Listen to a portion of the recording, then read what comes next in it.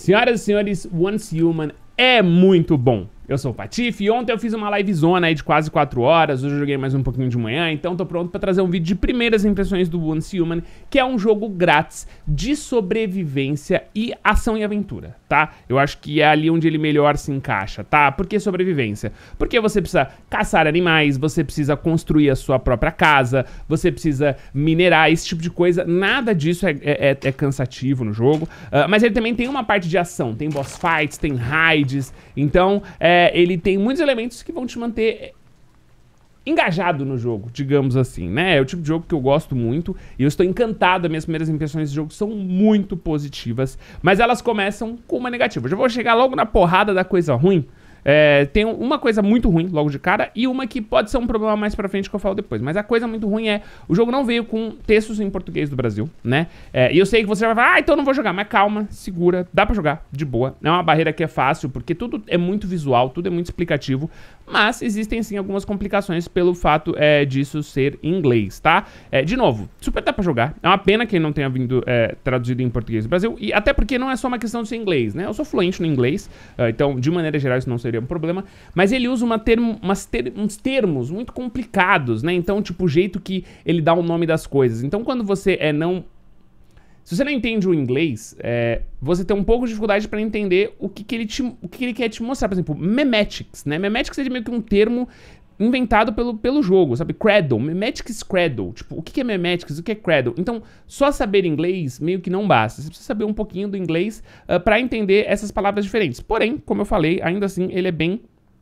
Ele é bem... É, é, visual, né? Então fica meio confuso no começo, mas rapidinho você começa a entender, por exemplo, né? Por mais que você não entenda o que, que você está liberando, aqui você vai ver, tipo, o que ele te libera, entendeu? Então, ó, então ele libera uma ferramenta melhor ali, no caso é uma de bronze, né? E conforme você vai ganhando, ó, ele tem o steel, né? Então é outro material, é uma picareta melhor, né? Então Apesar desse problema na tradução, eu acho que é um problema real, tá? É uma pena que não tenha vindo, espero que no futuro venha. Uh, algumas coisas ficam um pouco complicadas, principalmente quando é o sentido de fazer build também, né? Porque você tem meio que tem que, ó, por exemplo, aí aqui quando não tem desenho, realmente é um problema, tá vendo? O que, que é isso, tá ligado? É, de novo, você precisa entender o mínimo, mas confia aqui, porque eu acho que assistindo conteúdo, conhecendo conteúdo, seguindo produtores de conteúdo que estão jogando, você vai entender essas mecânicas sem muita dificuldade, tá bom? Uh, por mais que você não fale inglês, mas ainda assim eu vejo isso como um problema. Mas mesmo assim, é um problema que se você supera, realmente o jogo é muito legal, tá? É, eu particularmente estou me divertindo pra caramba com ele, né? Então aqui é a minha base, uh, e o que, que eu gostei muito nele? Grande parte dos problemas do jogo são facilmente solucionáveis, então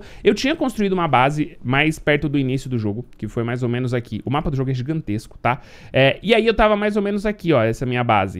Uh, só que aí eu fui pra outro lugar, porque aqui tem materiais melhores, né? Então eu tô evoluindo minhas ferramentas e tal. E aí pra trazer a base, irmão, você aperta um botão, você abre o modo construção, ó, aquela área branca ali é a minha base base. Mas apertando o botão Z, você pode simplesmente mover a sua base inteira para outro lugar, tá vendo? Então eu traria aquela minha casa que tá ali para outro lugar com apertar de um botão. Isso é muito legal, porque esses jogos sobreviventes, tipo Rust, né? esse jogo aqui, mano, ele é, ele é Rust com... ele é uma mistura de Rust com algum live service. Uh, o fato dele, dele, de você não ter que se preocupar, tipo, em abandonar uma base, em construir outra, cara, é muito bom. Então, é exatamente a base que eu construí, eu trouxe pra cá, e aí eu expandi ela, porque agora faz sentido, porque afinal de contas, a base viaja comigo ao longo desse mapa muito grande, né? Outra parada legal é que ali nas cidades, uh, a gente tem as missões principais, né? Então, deixa eu ir até a cidade só pra vocês verem. A gente pode spawnar a nossa moto a qualquer momento, a gente ganha ela bem early no jogo. Ela não é muito rápido, mas, mano, já é mó quebra-galho. Uh, vamos ver se eu consigo chegar ali de boa. Putz, eu não sei, eu não sei se a moto vai na água, não vou arriscar não. Não quero quebrar minha moto, sei lá, porque senão tem que construir, né? Então, uh, aqui a gente tem as cidades do jogo, né? Então são safe zones. Uh, e aqui você consegue pegar missões, aqui tem lojinha, aqui tem um monte de coisa pra você... Até, até um, umas mesas de trabalho, caso você queira fazer uns trabalhos por aqui, tá ligado? Tipo, essas cidades normalmente, elas têm toda uma estrutura pra você ter o mínimo, ó. Então tem as lojinhas, isso aí é missão secundária, né? Tem muita coisa para fazer em cada uma das cidades, o que é bem interessante também. E como eu falei, né, aqui a gente tem alguns outros, ó, mano, é vendedor, é lojinha, é muito legal é, nesse sentido de, de exploração do mapa, né? Ó, aqui tem as estruturas elétricas e tal. E outra coisa que o jogo faz muito bem é que você tem fast travel, meio que à vontade. Tem um cooldown, mas você pode, tipo, simplesmente liberar umas torres, tipo essa torre aqui, ó. E eu posso simplesmente mandar um fast travel, tá? Eu posso... Opa, Start Point Locked. Por que tá Start Point Locked? Eu não sei o que isso quer dizer. Uh... sei porque ele não tá me deixando fazer o fast travel. Mas pro meu, pro meu território eu posso, eu não sei porquê. Enfim, uh, então você pode simplesmente fazer o fast travel e... Não é bem simplesmente, né? Aparentemente tem alguma barreira aí que eu não tinha lidado até agora. Mas você faz o fast travel, então é uma maneira bem tranquila de circular pelo jogo. Eu acho que é porque eu tô dentro da safe zone. Deixa eu sair da safe zone. Vamos ver se melhora, né? Então vamos fazer aqui, ó. E aí, acho que se eu colocar aqui... É, que estranho, tá dando Start Point Locked. Talvez porque eu esteja no meio de uma quest, né? Acho que é isso. Uh, uma outra coisa bem legal também que você pode fazer é que a qualquer momento você pode construir o seu próprio acampamento, né? Então, apertei aqui. A partir de agora, é, esse aqui é o meu acampamento, né? Então, é, aqui você pode, por exemplo... Pô, tô com sede, né? Porque sim, ele tem sobrevivência. Então, você pode vir aqui, pegar água suja, né? Então, ele vai pegar o cantilzinho dele, vai encher de água. E a gente tem como no nosso acampamento a gente pode vir aqui e purificar a água, né? Clicando aqui, ó, na água boiled water. Eu colocaria aqui, eu peguei pouca água, mas com um pouquinho de tronco e água suja, eu conseguiria fazer água limpa para não ter sede, né? Também consigo, obviamente, cozinhar, né? Então eu tenho carne aqui, consigo colocar um pouquinho aqui, ó, a quantidade, e ele vai aparecer aqui no cantinho. A parte boa é que até agora nada disso aqui foi exaustivo. Eu tenho um pouco de preguiça dessas coisas. Mas quando esse é um elemento que é meio quase um minigamezinho ali, que você consegue lidar muito bem, é bem tranquilo. Por exemplo, farmar coisa. Cara, ó, quero árvore. Mano, Mandei aqui ó, o botãozinho, não preciso fazer nada. Você dá o comando pra ele pegar, né? Então, ele rapidinho vai coletando ali no cantinho, vai aparecendo, né? E aí, rapidinho, mano, eu já peguei um monte de madeira, saca? Tipo, pra fazer isso aqui, ó, eu uso cada um, cada Cada carninha, eu usei 3 de madeira. Em uma arvorezinha daquela lista eu peguei 60, 100 madeiras, tá ligado? Então é bem tranquilo e aí você consegue se alimentar, beber água, fazer tudo que você precisa no jogo, né? Tem um monte de elementos na casa ainda, tá, mas vamos mostrar um pouquinho mais do jogo, né? Gostei muito da progressão do jogo também. A gente começa nessa área aqui, certo? E aí a gente vai fazendo as missões principais. Uh, uma, uma, missão muito importante é isso aqui, ó, que é liberar esses Rift Anchor. Eu vou mostrar um pra vocês aqui nessa região nova que eu tô. E aí você finaliza aquela região indo aqui e fazendo a boss fight, né? O monolito. O monolito, por exemplo, aqui tá recomendado nível 10. Foi uma boss fight muito legal, que se você quiser ver, eu vou deixar a minha live de ontem aqui no YouTube aí disponível pra vocês olharem, tá? Então você vai evoluindo, ganhando níveis e tal, e aí você chega aqui e enfrenta a boss fight da região. Então agora eu tô na minha segunda região região, né? E agora eu chego a hora de poder enfrentar, é, aliás, fazer as missões daqui, que nem o jogo tá marcando ali, né? Então eu tenho a minha missão ali que eu tenho que fazer. Uh, e aí eu vou evoluindo. Lembrando, o jogo é massivo, tá? Ou seja, ele é um MMO, tem muita gente jogando, todo mundo online ao mesmo tempo. Então toda hora você encontra algum player, você pode jogar com seus amigos, montar um clãzinho. É super divertido também nessa parte de interação. Eu tô jogando solo, porque eu gosto de jogar solo e no futuro eu trago pra vocês se ele é totalmente jogável solo. Porque a boss fight talvez complique um pouquinho de fazer ela sozinho, né? Bom, conforme a gente vai avançando, vou mostrar um pouquinho do combate também. Uh, essa aqui é uma das regiões que a gente explora, né? Então, que nem eu falei pra vocês, a gente tem, por exemplo, aqui, ó, o, o Rift Anchor. Isso é um bagulho muito importante da gente liberar. Então já vamos chegar aqui, já vamos liberar esse Rift Anchor aqui do lado. Talvez eu já tenha até uma boss fight. Por... Ó, tem, boa, tem dois inimigos ali, ó. Porque esse é o jogo no final das contas, tá? Deixa eu ver se eu tô... Putz, eu tô com a minha 12. Deixa eu ver se consigo colocar minha 12 rapidinho aqui. Ah, tô sem munição, acho. Ah, tô sem munição. Ai, azedou. Eu tinha que ter craftado munição. Ou uma arma melhor. Tá, então isso aqui é um pouquinho do combate do jogo.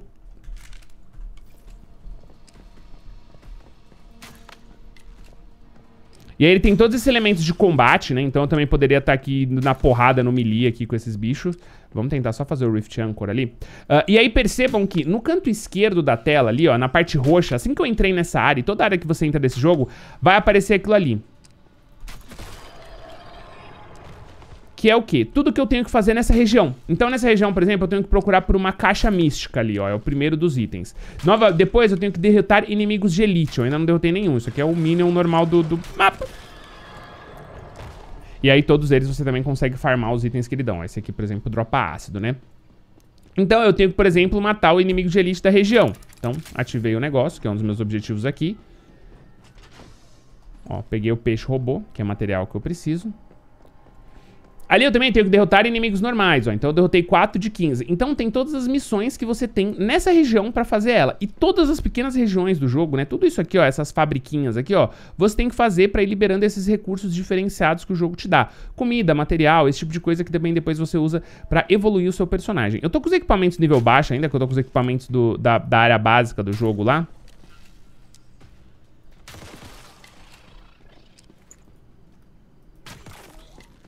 E eu preciso melhorar. Então, ó, por exemplo, aqui eu encontrei uma crate, né? Uma caixinha. Peguei alguns itens luteando algumas criaturas. Então, mano, o jogo tem muito inimigo, o que é bem legal. Eu acho que é o grande charme desse jogo, porque pra mim é onde ele pega o que os outros jogos não pegam, né? Que é essa quantidade legal de inimigos. É o combate, é sobre isso no final das contas.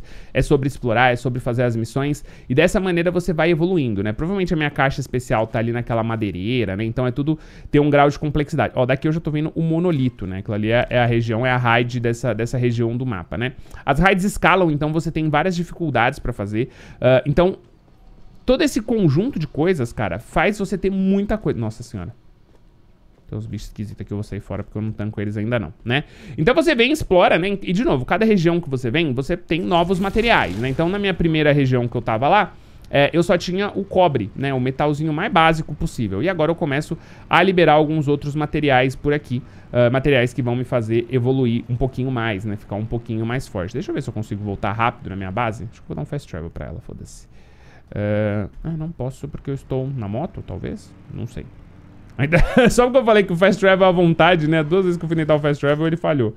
Eu descer da moto, talvez funcione. Bom. Uh, você tem, ainda assim, você tem um cooldown pra fazer essas coisas, né? Pra você não ficar spamando fast travel, por exemplo, né? Você agora, tipo, se eu tentar dar um outro fast travel pra cá, tipo, meu acampamento, ele ainda não vai deixar eu simplesmente mandar um fast travel, tá bom? Uh, e aí a gente vai pra nossa base, né? Então, conforme aquilo que eu peguei, né? Eu vou lá e eu, por exemplo, tenho aqui agora, eu deixei aqui processando alguns materiais, né? Então, eu tenho aqui bronze e metal, né? Então, eu vou até deixar fazendo mais bronze aqui. Eu deixei, ó, tenho um cinquentinho aqui, ó. Vou, vou dar-lhe. Uma das coisas mais chatas é o carvão, cara. Fazer carvão nesse jogo é muito chato.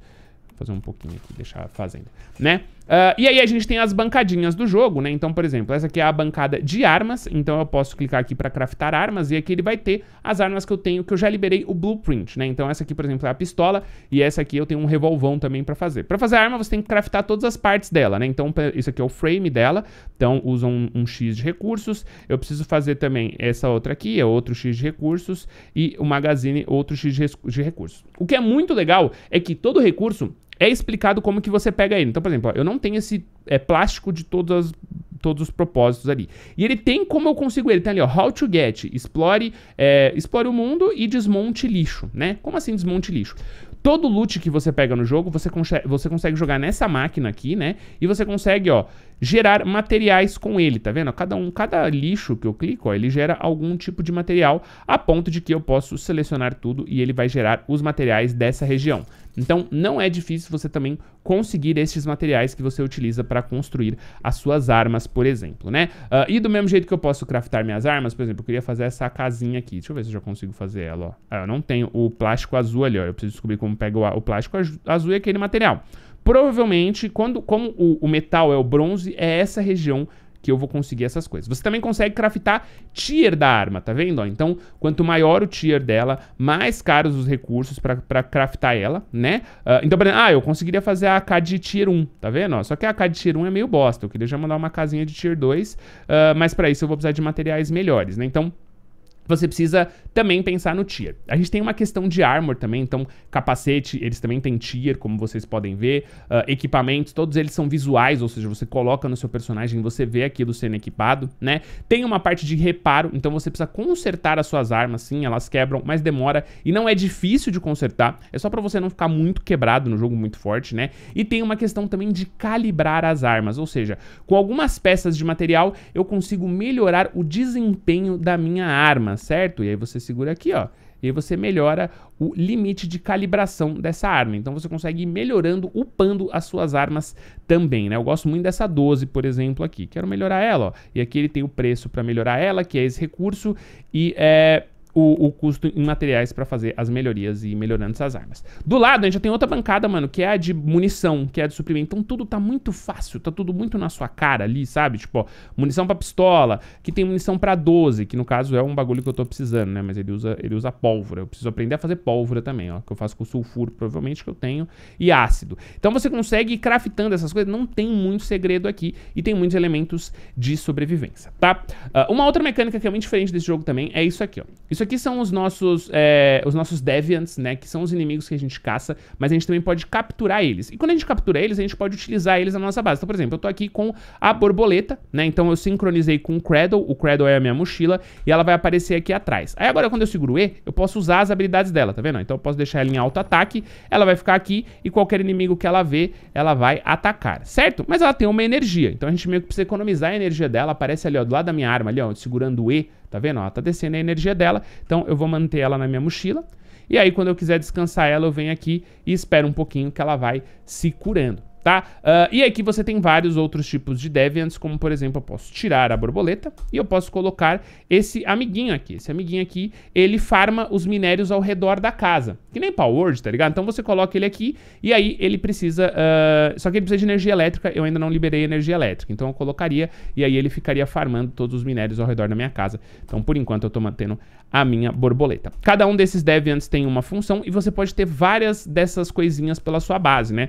Um que vai ficar na sua mochila, que nem é o caso aqui que eu tô com a minha borboleta, né? Mas você pode ter vários, porque vai ter a galera que vai ficar trabalhando e cuidando da sua base, que conforme você vai avançando no jogo, os monstros vão atacando a sua base, tá bom? Patife, como eu aprendo a construir mais coisa? Você tem aqui essa árvore, essa árvore de memetics, que nem eu mostrei. Então você tem desde a parte de infraestrutura, que são essas questões de construção, a gente tem a parte de crafting, então o que, que a gente pode construir, né? Munições avançadas é, e outro tipo de armadura, ó, então novas armas e tudo mais, inclusive novas bancadas, a gente tem toda essa parte de evolução. Uh, a gente tem a parte de logísticas também, então para você ter uma cozinha melhor, para você poder fazer novos pratos, para você fazer expansão de segurança, né? Tem todo esse tipo de questão também. E por último, a gente tem aqui também a parte de building, de construção, né? Porque é, a minha casa, por exemplo, ela é de madeira. Então, logo, eu preciso colocar uma defesa básica, né? Então, a gente tem sacos de areia, fortificações, bases e também armadilhas, é, móveis, né? Então, pô, eu quero iluminação na minha casa. Eu preciso disso aqui. Eu quero. Enfim, tem um monte de coisa que a gente pode fazer. Inclusive, a gente pode fazer uma garagem e modificar a nossa moto. Aquela moto lá que eu mostrei pra vocês. A gente tem aqui também. Minha casa é escura, tá? Desculpa, mas tem uma lanterna. A gente tem também. Ai, ficou ruim, eu preciso ajeitar isso aqui depois. Não consigo acessar minha garagem. a gente tem uma garagem. Um, nossa, eu preciso muito ajeitar aquilo ali, eu não sabia que tinha ficado no caminho. Mas é bom porque eu vou mostrar outra coisa. Então a gente tem também um lugarzinho aqui que a gente pode, por exemplo, mexer na nossa... Oh, caraca, ficou ruim demais isso aqui. Deixa eu ajeitar ela, peraí. Ó, a parte boa é isso, mano. Relocar as coisas nesse jogo é muito fácil. Não tem segredo nenhum, ó. Tirei ali, apertei e já movimentei. Então, tipo, não tem frescura para mexer nas coisas, mano. Tipo, você tem, você tem a mecânica, mas você não tem a chatice por trás da mecânica, né? Então você consegue mexer nas partes da moto, né? Então, por exemplo, eu quero mexer aqui, quero melhorar o chassis dela, né? E aumenta a durabilidade. Quero melhorar a roda dela, e aí aumenta o handling. Quero mudar o motor dela, e aí vai melhorar a velocidade dela, né? Então, tudo aqui o que você precisa tá aqui, como você pega, tá escrito. Então, é tudo bem tranquilinho. E você também consegue colocar outras skins na moto, né? Então, você consegue também liberar obviamente, do, da lojinha, porque o jogo é grátis, tá bom? Então você também tem essa parte bem legal. E aí a gente vai agora pisar num lugarzinho mais confuso, que é a parte do... Opa! Que é a parte de desenvolvimento do personagem, certo? Aqui é a hora que o jogo vira uma salada de coisa. Porque é o seguinte, o jogo é grátis, uh, e é por isso que eu falei que tinha um defeito bem grande lá no começo que era a, é, a, questão de textos. E agora eu vou falar do, do, do, do, problema que pode ser um problema no futuro, que pode inclusive matar esse jogo. Uh, uma parte da comunidade, obviamente, que vai abraçar, que vai amar, mas tem uma parte da comunidade que não vai se envolver tanto assim, né?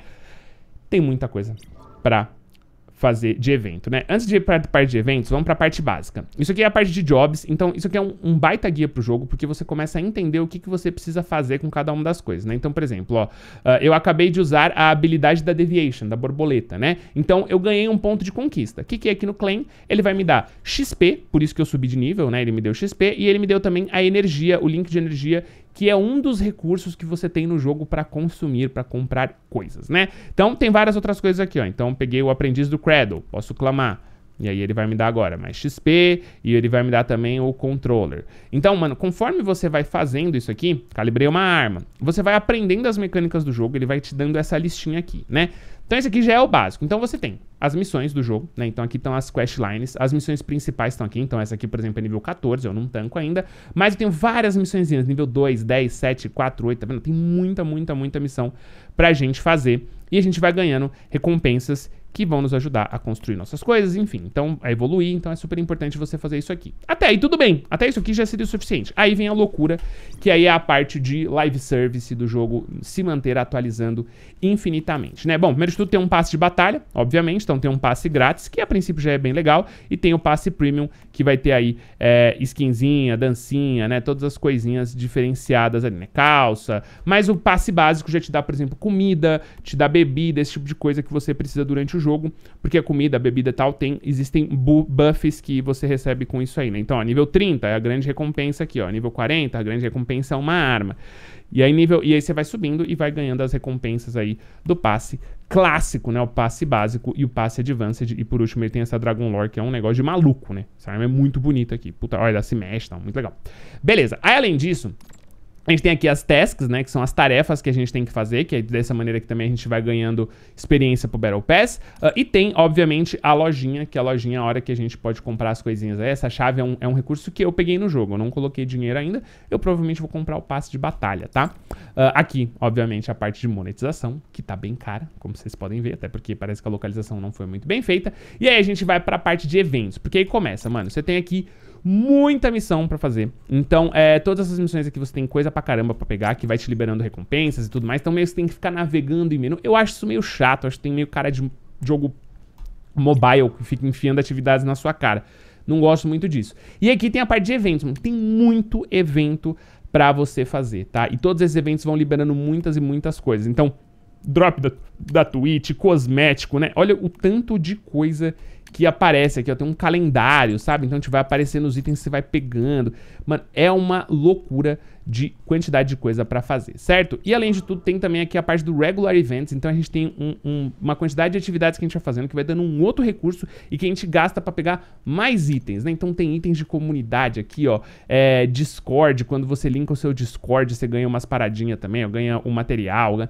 Mano, é muita coisinha de é, live service, né? É muito, ó, skin, cara, é uma doideira. Então, potencial problema, porque eu também não sei o quanto desses itens que vão trazer força, né? E aí o jogo, como ele tem um PVP, você pode jogar PVP ou PVE, mas como ele tem um PVP, aquilo ali pode ser um problema é, mais pra frente no jogo. Ou seja, você acabar tendo que. tendo uma questão de pay to win no futuro. Eu não sei como é. Eu não tô falando que ele é pay to win. Tô falando que, como tem muita coisa, e eu vi que no passe tem arma, não tem só skin, tem uns negócios ali de recurso talvez pagando você tenha vantagens. Eu não sei o tamanho que isso fica.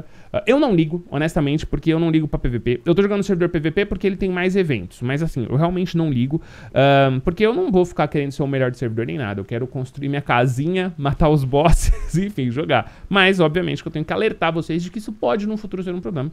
A princípio, irmão, de graça, eu recomendo baixar pra testar. Uh, Tô me divertindo pra caramba. Ontem eu joguei aí umas 4 horinhas, hoje joguei mais uma horinha assim. Eu não quero parar de jogar, eu quero jogar isso aqui o dia inteiro.